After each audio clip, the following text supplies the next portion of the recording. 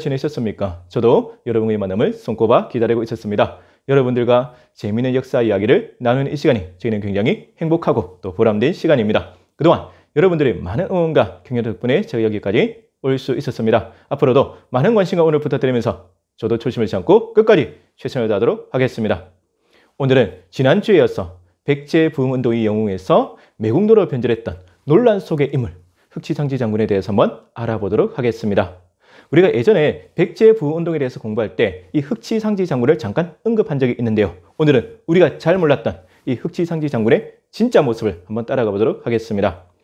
먼저 흑치상지 장군은 성이 흑치고 이름이 상지입니다. 흑치는 이빨이 검다는 뜻인데요. 삼국사기 흑치상지 열전에 보면 이런 기록이 나옵니다.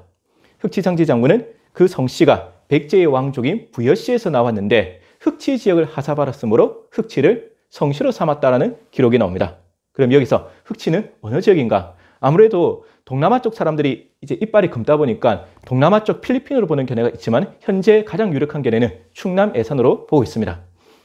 아무튼 이 삼국사기 흑지상지 열전에 보면 키가 7척이 넘었고 굉장히 용맹하고 날렸으며 지략도 뛰어났다고 나옵니다. 백지를 대표는 최고의 명장 중에 한 분이었던 것이죠. 이런 흑지상지한테 어, 선택의 순간이 오게 됩니다.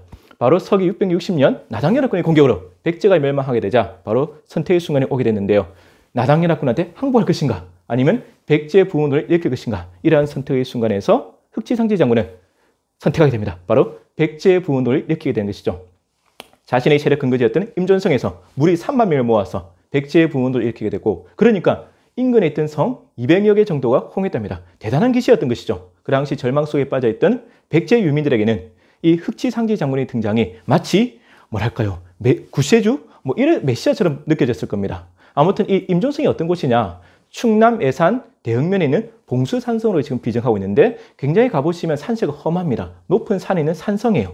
그래서 뭐 난공불락이 초롱성 그래서 방어하기는 유리하고 공격하기는 굉장히 불리했던 그래서 이 흑치상지 장군이 동요했던 지수신 장군과 함께 어, 임종선을 굳건하게 지키게 되었던 것이죠. 그리고 그 당시 이제 백제 부운동의 중심 인물이라면 우리 저번에 배웠다시피 바로 복신과 도침이었죠. 이 복신과 도침이 일본의 있었던 부여풍 왕자를 기환시켜서 새로운 왕으로 옹립하게 되면서 이 백제 부운동의 기세가 하늘을 찌르게 됩니다. 어느 정도였냐면 나당여군이 거의 궁지에 몰릴 정도였거든요. 이렇게 성공할 뻔했는데 우리가 알다시피 결과는 실패로 끝납니다. 왜 그랬냐면 음, 정말 지도층의 내분이 일어나는 것이죠. 권력욕 때문에 복신이 도침을 먼저 살해하고 그 복신을 다시 부여풍 왕자가 살하게 되면서 이 백제의 부운동이 지도부는 극심한 내용에 빠지게 되고 거기다 결정적으로 서기 663년 그 유명한 백강 전투에서 백제 부흥군 외연합군이 나당연합군한테 치명적인 패배를 당하면서 이 백제 부운동은 사실상 실패와 좌절의 길을 걷게 됐고 또 그 중심인물이었던 부여풍 왕자마저 고구려로 망명하게 되는 것이죠. 이때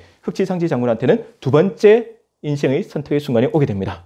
자, 그 당시 당나라 황제였던 고종 황제가 백제의 마지막 태제였던 부여용 왕자를 보내서 투항을 권유하게 됩니다.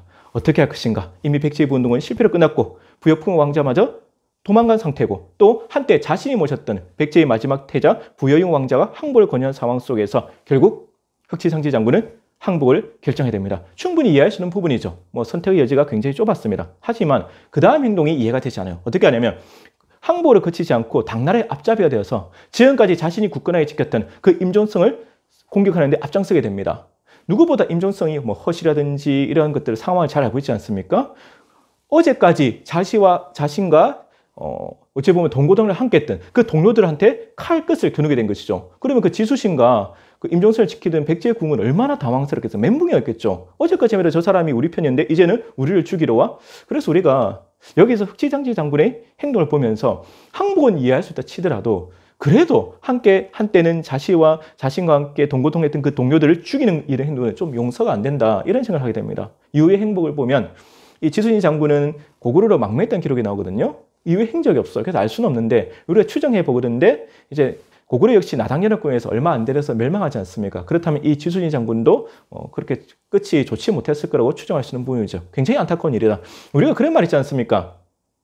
동양어 못해도 그 거린들의 그 쪽발 게임 안 되지 않습니까? 남을 도와주지는 못할 망정 해치면 안 돼요. 항복은 할 수 있습니다. 그런데 하, 자기 자신과 함께 그 어찌 보면 동고동했던 그 동료들을 자신이 직접 죽인다? 이거는 좀 이해가 되지 않습니다. 그리고 이후에 이 흑치장지 장군은 어, 아까 부여용 왕자와 함께 당나라 본토로 건너가죠. 거기서 이제부터는 진짜 당나라의 철저한 주구, 개가 되어서 당나라를 위해서 수많은 전쟁을 하게 되고 수많은 전공을 세우게 됩니다.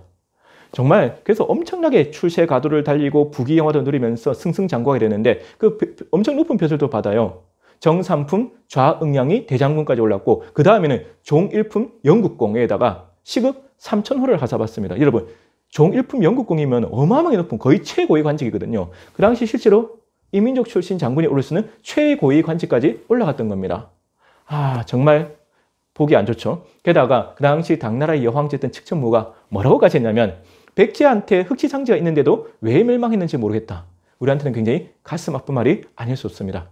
하지만 저는 역사를 공부하면서 역사와 정의와 진실이 살아있던 것을 매번 느끼게 됩니다. 왜냐하면 이 흑지장지 장군의 끝이 좋지 못합니다. 결국 측천무회에서 영모죄로 연루되어서 비참하고 억울한 치호를 맞게 된 것이죠. 처음에 당나라는 이 이민족 출신 장군들이 재능이 탐나니까 이들, 이 사람들 중용하거든요. 하지만 이 사람들이 너무 세력이 커지니까 당나라 황권에 위협이 될 수도 있고 또 이 사람들이 당나라 군부내 세력도 구축할 수 있으니까 결국에는 이때 이민족 출신 장군들을 대거 영모죄로 모아서 숙청하게 되고 이 와중에 이제 흑지장지 장군도 비참한 처우를 맞게 되는 것이죠. 우리가 이 흑지장지 장군의 인생을 보면서 이 사람을 어떻게 평가해야 될까 고민에 빠질 수밖에 없습니다. 백제 최고의 명장으로서 한때는 백제 부운동의 영웅에서 매국노로 변절하게 되고 당나라의 철저한 주구, 개가 되어서 당나라를 위해서 수많은 전공을 세우고 부귀 영화를 다 누리다가 끝내는 그 당나라에 의해서 버림을 받고 토사구팽당한 이 불쌍한 장군을 어떻게 평가할 것인가? 저는 결코 좋은 평가를 할 수 없다고 봅니다. 뭐 개인적으로는 변명할 거리가 있겠죠. 자기 합리화도 가능하겠죠. 하지만 역사적 평가는 굉장히 객관적이고 냉철하게 준엄하게 된다. 역사적 평가에는 절대 개인적인 사감이 들어가서는 안 된다고 봅니다. 우리 일제강점기 때 그 수많은 친일 매국노들이 일신상의 안위와 자신이 부귀영화를 위해서 조국과 민족을 배신하고 정말 일제 부역하면서 얼마나 호의호식했습니까? 해방 이후에도 이승만 정권에 의해서 다시 중용되면서 대한민국의 주류 지역에 대해서 지금까지도 떵떵거리며 그 후손들이 잘 살고 있는 그런 모습을 보면서 우리는 얼마나 붕괴하고 있습니까? 바로 제대로 된 역사적 심판과 단죄를 하지 않았기 때문에 이런 일이 계속 반복되고 있습니다.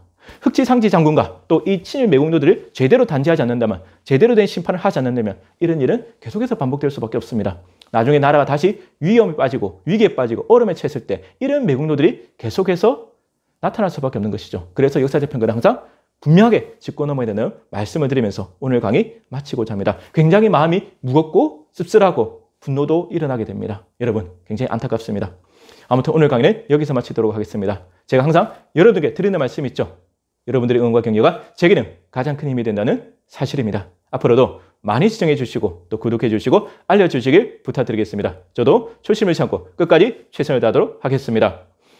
어, 여러분 지금 나라가 굉장히 힘들고 어렵습니다. 정치, 경제, 사회 모든 면에서 굉장히 암울합니다. 이럴 때일수록 우리는 정신을 바짝 차리고 어, 바른 역사로 바른 역사관을 무장해서 역사 공부 열심히 해서 끼어있는 민주시민이 되어야겠습니다. 그렇다면 언젠가는 우리는 희망을 찾을 수 있습니다. 여러분 역사 공부 제대로 열심히 합시다. 항상 건강하시고 행복하십시오. 지금까지 항우사 전문 강사 강재민이었습니다. 감사합니다.